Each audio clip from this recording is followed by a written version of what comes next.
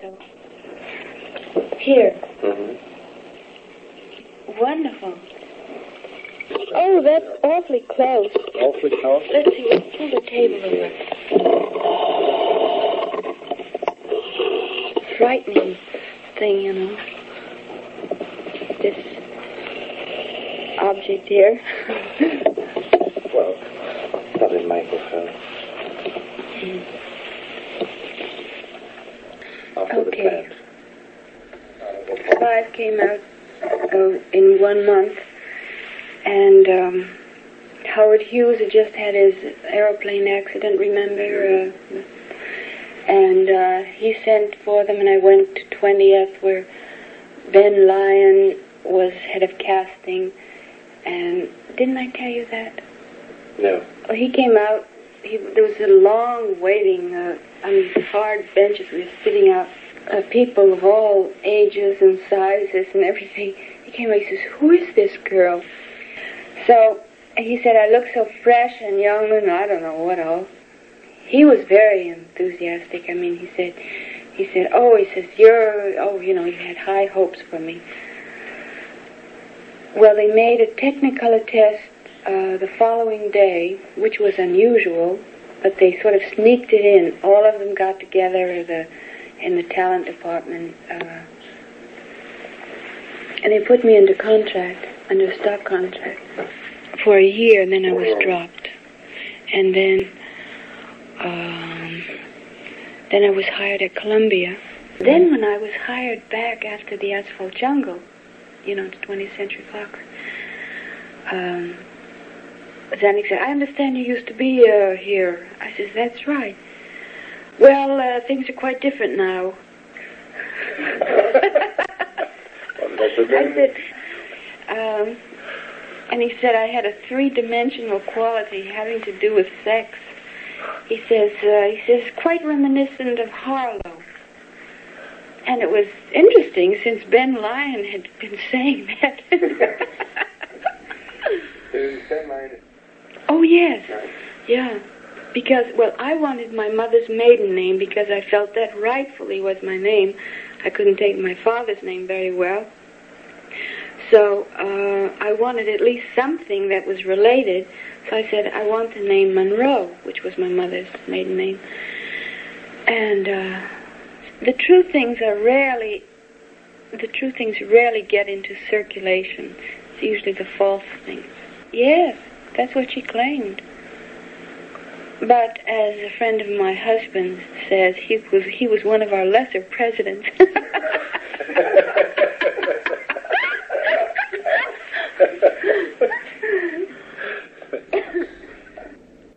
Truly, I was at the Hollywood Studio Club, although they say that I wasn't. I was. I know. It was me. it happened to. was I? Was me. I. Was I. It was all true. I was behind in the rent, and they usually let you get about a week behind in the rent. And since, you know, they write me and they say, you're the only one who doesn't support this wonderful, uh, you know, wonderful. It's not so wonderful unless you're working and paying your rent.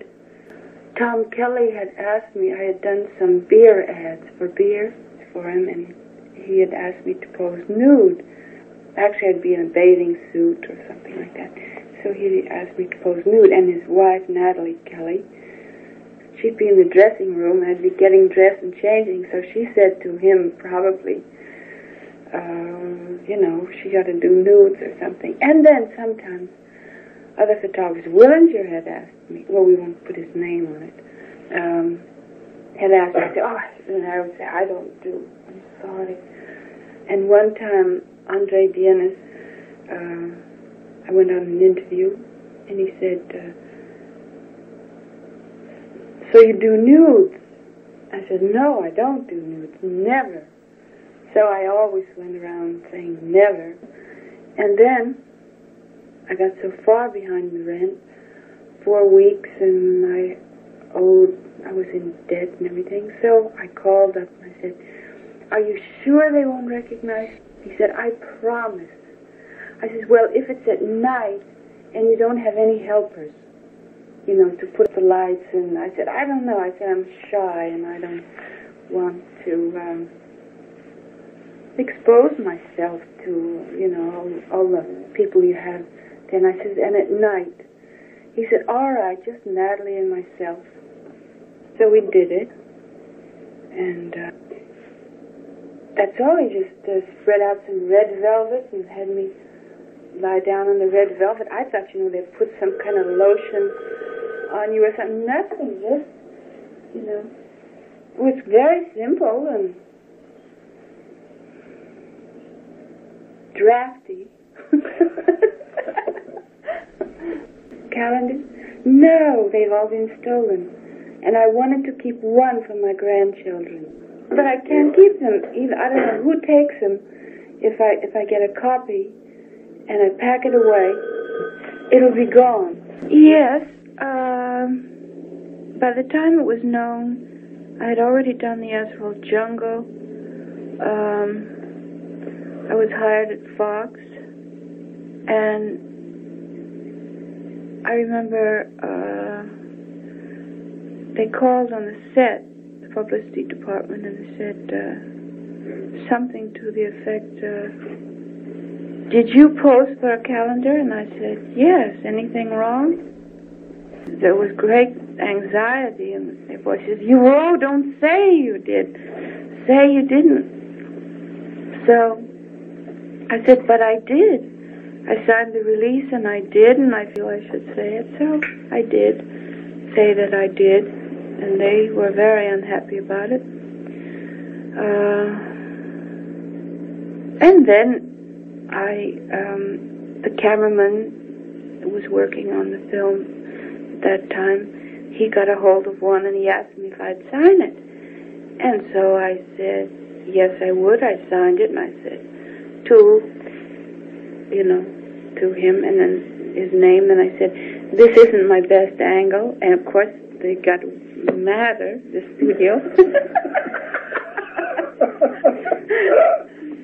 and they said, but you can't sign those. And I said, but it's me, and they'd rather have these than the other signs. If they're friends, I don't sign for strangers, but they're friends. Or some I said, um, do you like me better with long hair? Because the hair was down to here, my hair, before I did the Asphalt Jungle. Little by little, I think Fox got used to it.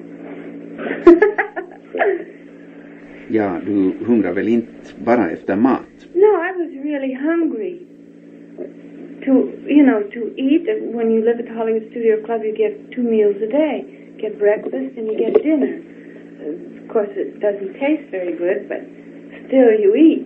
I always supported myself. I was never what you'd call, um, I don't know, how can I say it? No one else ever supported me in my life, in my older life, you know, like. So I didn't. I had no family, and um, I mean, I had no place to go just to uh, have a roof over my head. Of course, and a lot of people said, well, why didn't you go and get a job in a 10 cent store? Something like that. And I, Så det because I didn't have a high school education, they wouldn't accept me. That's not true. många din? Uh, neither are true. Uh, my mother's first husband was named Baker. Uh, her second husband was Mortensen, but uh, she was long since divorced when I was born. So, um, on my birth certificate, I believe it says profession Baker.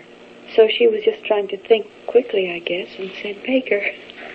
Uh, well, in all my school records, it was Norma Jeane Baker.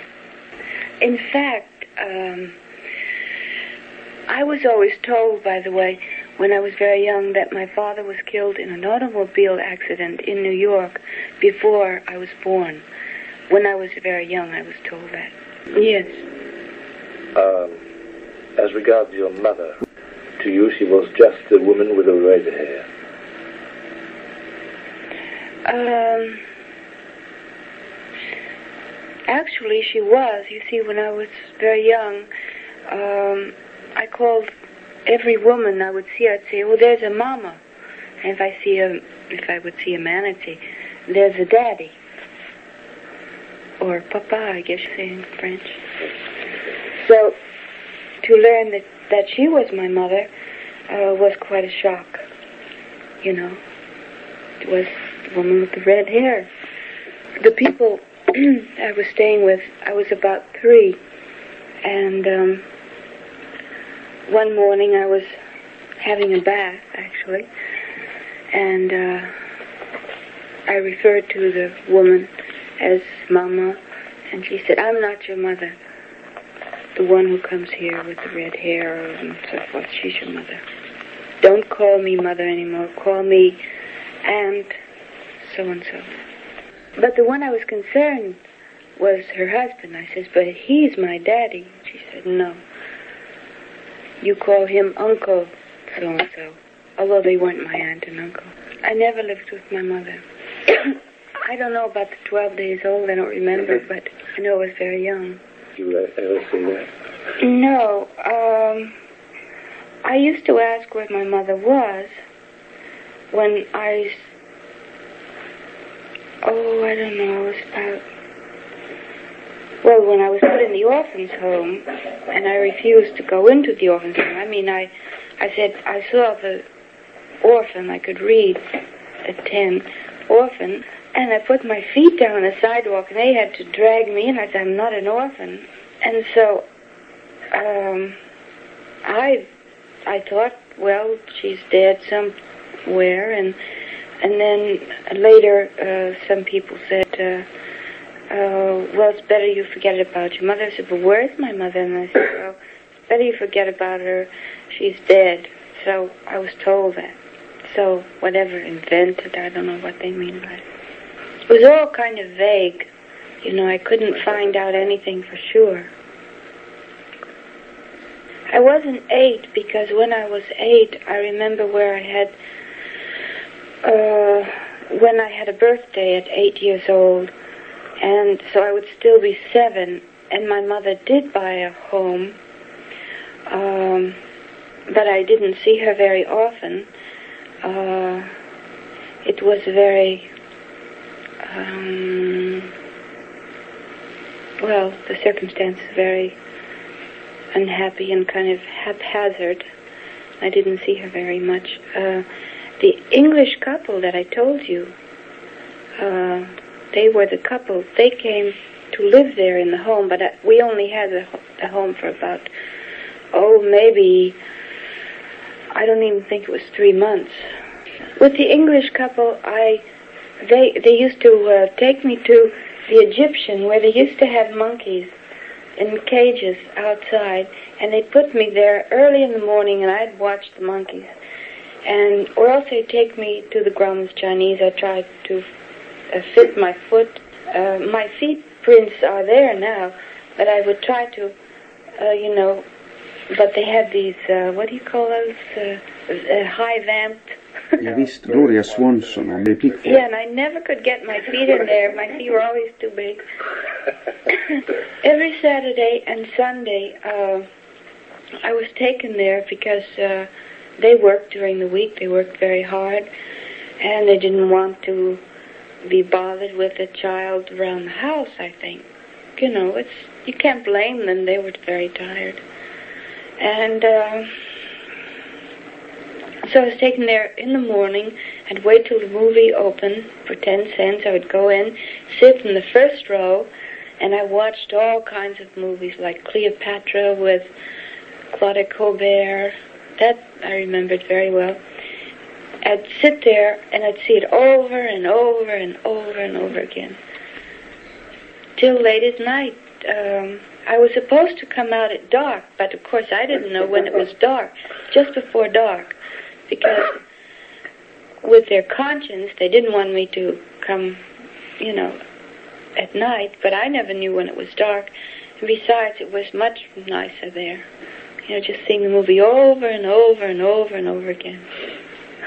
Fick du någonting att äta? no. It didn't matter. I, kn- I knew i'd eat when i got home eat something. Let's see, I don't think there was 12, but there were quite a few.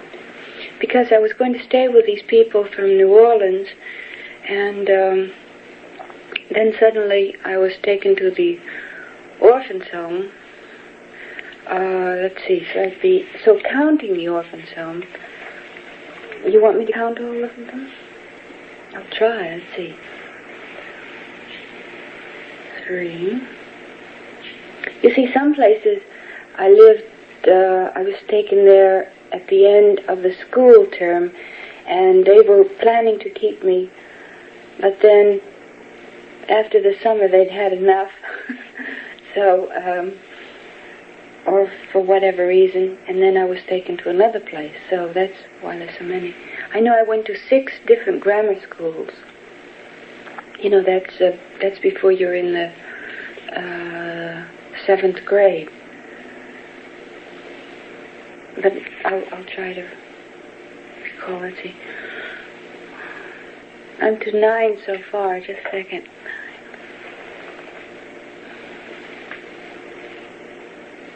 Ten. Ten. But I moved back to a place where I had stayed. So that would make 11 different moves, but 10. 10 counting the orphan's home. Mm-hmm. 10 different places. The time, Oh, it's such a bright, cheerful place. according to McCall. I guess it is now. They've made a lot of improvements. Um, I used to sit up in the window and cry because I'd look over and I'd see RKO, and I knew my mother had worked there, and she'd been a cutter there, and all the kids were asleep. I used to sit up in the window, and um, at night, and um, as I say, when everyone was asleep, and I, when I went there to work uh, during Clash by Night, I stood there and I wanted to see back to see, to see if I could see the orphanage, but you can't. It's too many sound stages in the way and office buildings and homes. Oh, by the way, I slept in a room with 27 beds because uh, they they say some other number. I know when I read it. Um, because you had to work your way to the honor bed. You start with one, or, well, really the 27th bed, and you had to work your way down and around, and and then you could work yourself into the other dormitory, which had fewer beds, but I got there once, but uh, once I was putting on my shoes, and the matron said, "Go downstairs. I'm tying my shoe." She says, "Back to the 27th bed."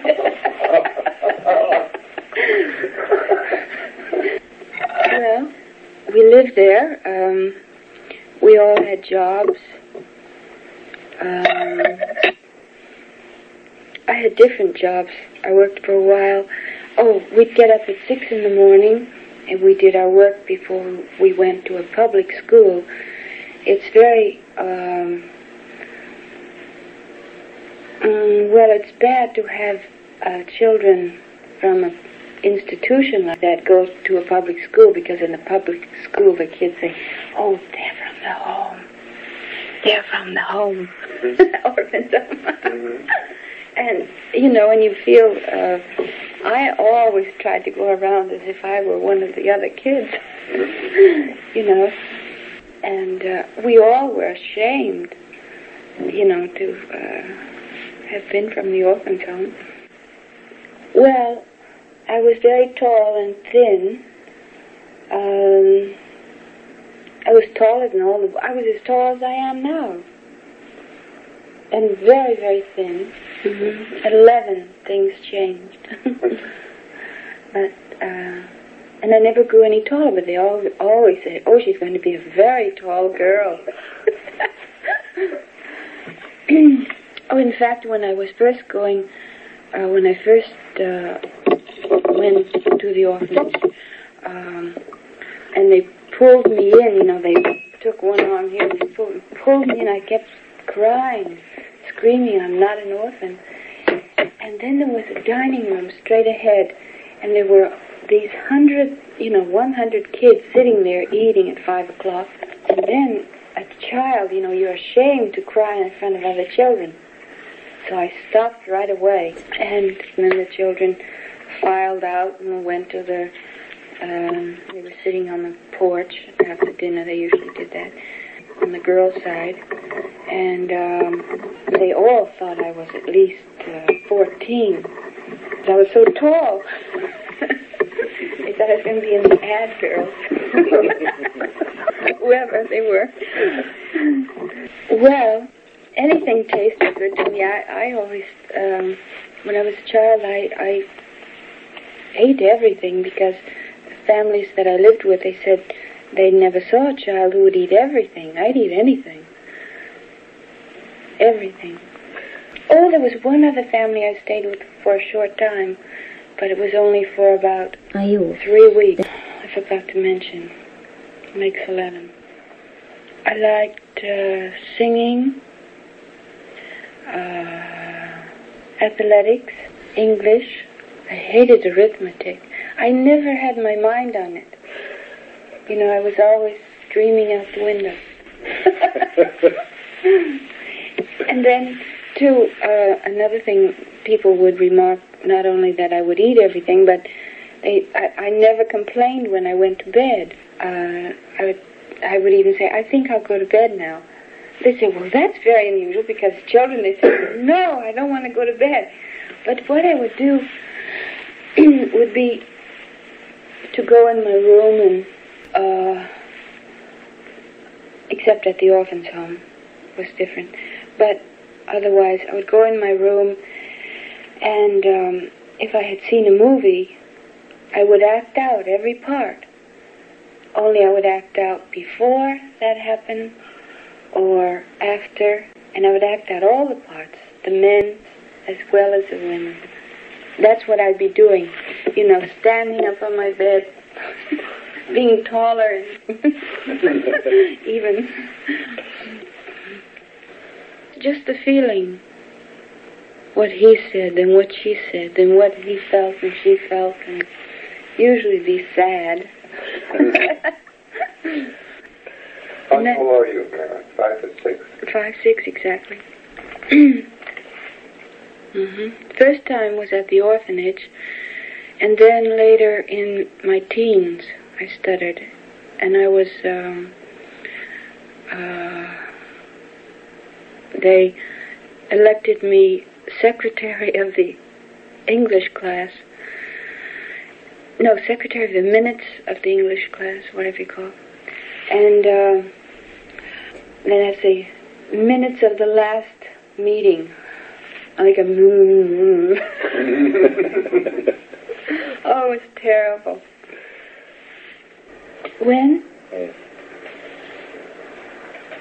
I don't know. Let's see, I had the orphanage, and after I left, I guess, and then when I was about 13, I took it up again. it just, I don't know it, uh, how it happened. I just stuttered. Sometimes if I'm uh, very nervous or excited or something, I stutter. In fact, one time they were doing a, uh, I had a small part in the movie, and the uh, assistant director came in and yelled at me. Oh, he talked awful, and he,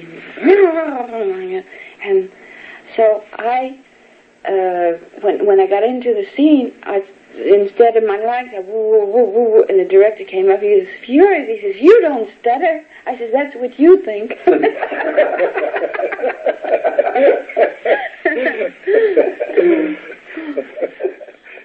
oh, it's painful. Oh God. Well, when I went to live with uh, a woman, her name is Mrs. E. Period Ana Lower, and I used to do the dishes in the evening and whistling. And she said, I never heard a child sing so much. So I did it during that period. I I liked being uh, with her, staying with her. I always kept in touch with her. She's I loved her very dearly.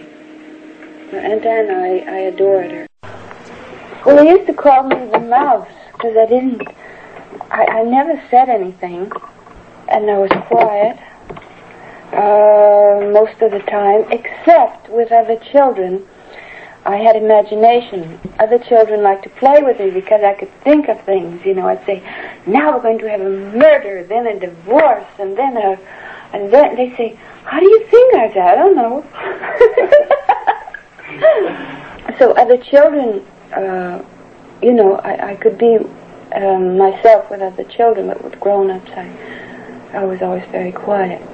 Went around about doing my work, you know, whatever I had to do.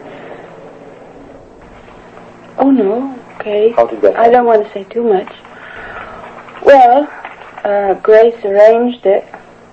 She and her husband were going to um, West Virginia, and they were going to put me in a uh, a home, or you know, like I'd been before, or I could marry this uh, boy who was 21 at the time. So I married. Oh no. I was 15 turning 16. When marriage took place, I was just turned 16. In the state of California, you can marry uh, at 16, a girl. But it was arranged when I was 15. No, not at all. Then uh, he was drafted to go into the army, but instead he went to the Merchant Marine. Yes, towards the end of the war, I divorced him. When I divorced him, no, I was 20. I went to Las Vegas to divorce him. I don't know if they let you do one, they let you do the other. well, how does it feel being yourself? That's exactly how I feel. I didn't know. Dreams. One time, a very wonderful director, Kazan, said, I had no ambition. That was my problem, my trouble. But I, I, I would like very much to be uh, uh, a fine actress, a true actress, that's what I mean by fine, a real actress. I would like to be happy, but who's happy? I think trying to be happy is almost as difficult as trying to be a good actress. you have to work at both of them. Well, I think comedy is uh, harder for me. I mean, it's just harder to act comedy, I think. For me, it seems that way.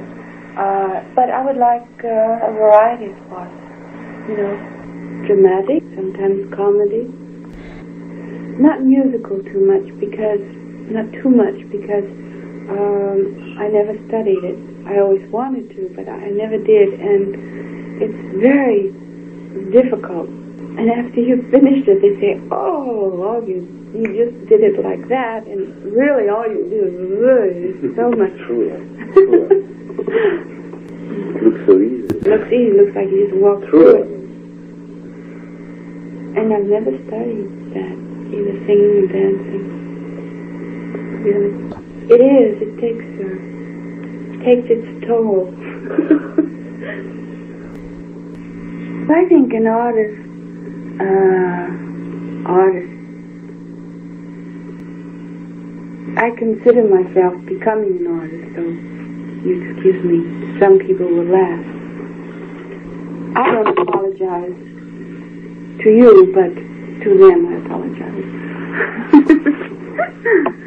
um, sometimes, you know, the work is so you know, you, you, you try to be true, and uh, uh, you feel sometimes it's on the verge of a kind of craziness, but it isn't really craziness. It's really uh, getting the truest part of yourself out, and it's very hard, you know. I mean, it's not easy, let's say. And yet it can be very simple at the same time. Um, being an artist because sometimes you think, oh, well, all I have to be as true, but sometimes it doesn't come so easily. Well, I always have a secret um, feeling that I'm really a fake or something, or phony, or you know how people feel about themselves. They have something secret they feel about themselves. I always feel that. I know my teacher says, why do you feel that about yourself? And then he starts to say, but you're a human being. I said, yes, I am. I said, but I feel like I have to be more. He says, no. He says, you start with yourself, Lee Strasberg.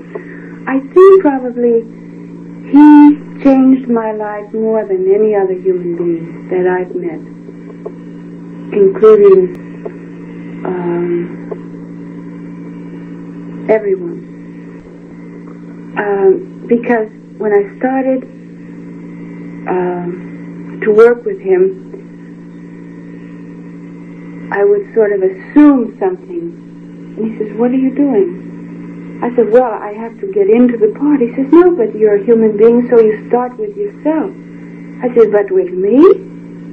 He said, yes, with you. So, uh, in a way, if you can concentrate uh, correctly, I don't mean deep thinking where you, you know, pounding the skull, but if you can just concentrate simply, that's what I mean about easy.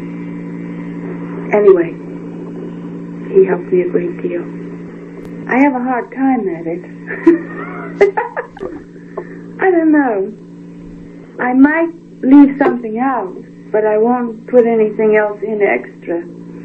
I might leave something out because uh, to my benefit or somebody else's benefit, hurt people or hurt myself sometimes, you know. We all want to protect ourselves also. So uh, I might leave something out, but uh, I, I, I don't think I. Uh, no, I, I don't think I lie. At least if I would try, it's difficult.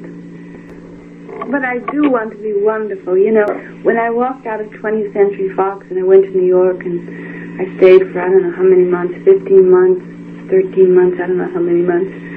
And the lawyer, you know, he said, um, uh, oh, he was telling me uh, about my tax deductions, my I don't know what, and about, oh, the lawyer for 20th Century Fox. I said, I don't know about that. I only know I want to be wonderful. Because you say that to a corporation lawyer, he thinks you're mad. and that's at the bottom of everything, you know, that I do want. People were making them up. It's not true. There was nobody there that No, smart. they, they, well, I think Or they, anywhere. they, they never made them up. Uh, And they're often more advanced by them, horrified. Yeah, like, well, you know, they ask you questions like, you, well, just an example, what do you wear to bed? Uh, you wear a pajama tops, the bottoms of the pajamas, or the uh, nightgown, or what kind of, so I say Chanel number five, because it's, it's the truth. and yet I don't want to say nude, you know, but it's, it's the truth. Or, um, I don't know, uh, all all of those things come from the truth. If you ever get any of those things you want to ask, uh, what does it mean? I'll tell you where where the truth comes from or what it does mean. Because I, as I say, I don't, I leave things out. I don't elaborate sometimes, but it'll be from the truth. Because otherwise, it's hard to know where to start if you don't start with the truth. Okay, here um, I get up early in the morning. I jump into my clothes, uh, get my belongings together, get in the car, and I have a driver. He brings me to the studio. Uh, then I have somebody waiting here who makes my breakfast. Then they start with the hair and the makeup, and I eat while they're doing my hair. And then they leave it that way while the makeup man, he comes in, he does the makeup. And uh, then they comb out the hair later. And they put on the body makeup and then the clothes. I don't like to rush this process because I find if I rush, I'm very tired. By the time I have to do a scene, I'm all worn out from rushing through the hair and the makeup and the clothes. So I like to do it leisurely, like I like to dress when I go out in the evening. I love to dress leisurely. I like to soak in the tub, then leisurely. Uh, I like music. I think that we're rushing too much nowadays. That's why Right people get nervous. Well, I don't think I'm late all the time, but maybe it is because I can't go as fast as other people. You know, people that get in automobiles, they run into each other uh, because they they never stop. They're going like that, and I don't think that mankind it's intended for them to go like that. They're not supposed to be like machines. And I think you get more done uh, the other way by doing it more sensibly, more leisurely. Mr. Cukor on this film has been very wonderful to me in as much as he lets me come in an hour later than I would usually come in. So it helps because I'm fresher at the end of the day. It helps. He says he does it for my work, and I think it's so. I think actors in movies work too long hours. Hours are too long. Ah, always, nearly always. Sometimes I feel a doom set over me. Just as I'm walking on the stage, it's just like a doom sets on me. I don't know why, but I get over it sometimes. Sometimes it lasts all day. uh, well, um, I want to do my best, the best that I can do in that moment. When the camera starts until it stops. That moment I want to be perfect. As perfect as I can make it. I used to go to um, movies on Saturday night when, for instance, uh, when I worked in a factory, and that was my only time that I could enjoy myself, really, that I really relaxed and enjoyed. And this is on tape. We're trying to think. Excuse us. and uh, so, uh, I used to be very disappointed if I went to a movie because I waited all week to go to the movie. I, and I worked hard for the money that I spent. And uh, if I went to a movie and it was a bad movie, or I thought people didn't do their best, kind of uh, did it sloppy or something, I really was mad, you know, angry when I left because then I didn't have anything to go on for a whole week. I'd wait for another week. So I always feel that I work for the ones who work hard and they go to the box office and put down their money and they want to be entertained or I always feel I do it for them. But I do care because I know how the others feel. You know, they worked hard all week and my favorite stars then? Oh, I liked anybody who was good. Sometimes they'd be good, sometimes they wouldn't, you know, depends. Oh, well, that was when I was very small. That's when I was seven years old. Uh, when I seven years old, my favorite was Jean Harlow. And the reason why she was my favorite, because she had white hair and I had white hair. And they used to call me towhead. I don't know how you'd say it in French, but it was white hair instead. And I dreamed of having having golden hair, but instead mine was white. and so when she, she had white hair, I felt sort of um, close to her because she had white hair, I had white hair. And Clark Gable, I'm sure he won't mind if I say it, because in a Freudian sense, it's uh, supposed to be very good. Uh, I used to always think of him as my father. I pretended that he was my father. I never pretended anyone was my mother. I don't know why. But I always pretended he was my father. I was just seven years old, and he was a very young man, and um, I thought that's how I wanted my father to look.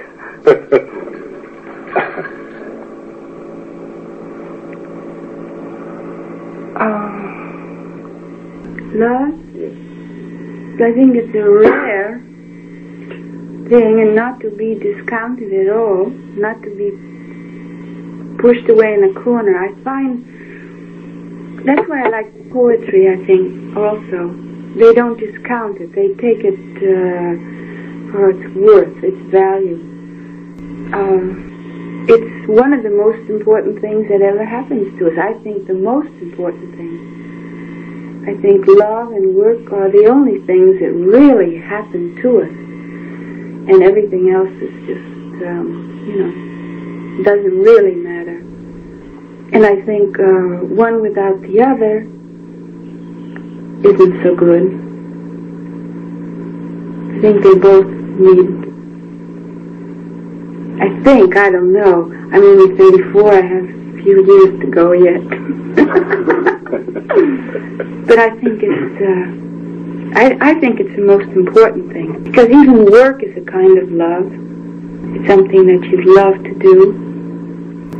Even uh, workers, factory workers, I, I used to take pride in the way that I would do it. Even though I did it very fast, I would take a pride in the fact that I would do it exactly perfect, as perfect as I could, you know.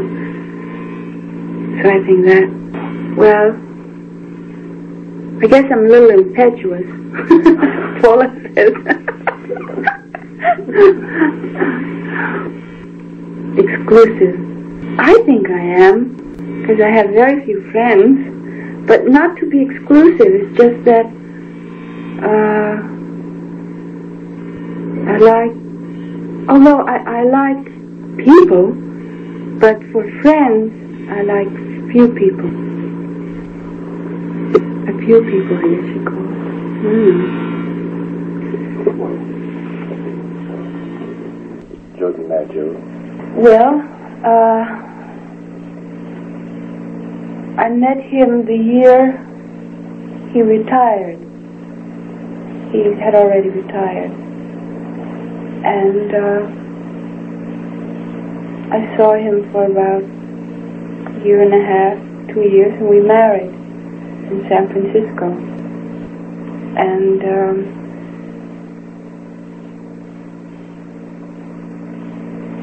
his background, uh, you know, his family, they were immigrants and they had a very difficult time. And, and when he was young, he had a very difficult time. The thing, he was a wonderful athlete. And he could hit a baseball. Anything thrown his direction, he can he could hit. So uh, he understood uh, some things about me, and I understood some things about him, and we based our marriage on it. And I say some things. Uh, well, I don't want to say that. I just say we understood some things about each other. He has a very sensitive nature in many respects. You know, one thinks of an athlete as being I don't know, not having that, but they they do. Um, our marriage wasn't a happy one. It ended in uh, nine months, unfortunately. I don't know what else to say.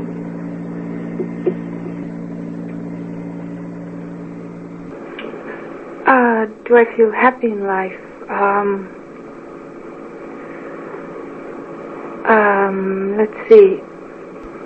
Let's say I hope I'm finding happiness. right? Well, for me, uh, if I can realize certain things in my work, uh, I come the closest to being happy, and I can say that also about my life. Well, it only happens, I think, in moments. Sometimes when I'm working, and uh, and I'll be able to um, uh, fulfill a scene truthfully, and then I think I'm the happiest. Well, I find it very stimulating to keep studying and working. Um, uh, but it, I'm not just generally happy. If I'm generally anything, I guess I'm generally miserable. I don't know. Fine. Uh, sometimes I Do you think. like I don't know. I think sometimes I do, sometimes I don't. Which is natural, I guess, for everyone. Um, I would like to be more sociable than I am. On some days. You know, sometimes I'll chat when I'm not pleased, but sometimes the work itself requires uh, more uh, that I'm quiet and to myself more. And other days, like during a musical number, I try not to get too. Um, uh, I like to be more outgoing because I have that's what I have to express, and so I try to keep it general. I try to, even if I feel like it or not, I'll try to make the effort to make contact with people around me.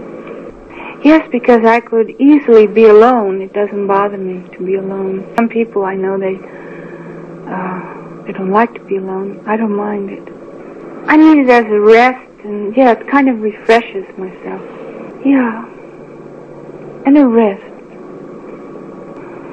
Yes, I think there's two things in human beings that they, as I think there is in myself, um, that they want to be alone, but they also want to be together.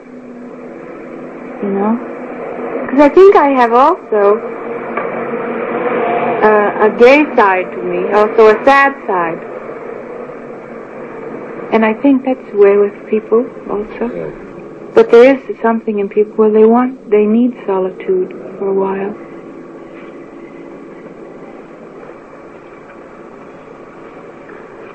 Yes, it was. Um, he came with uh, Elia Kazan on the set of a picture called um,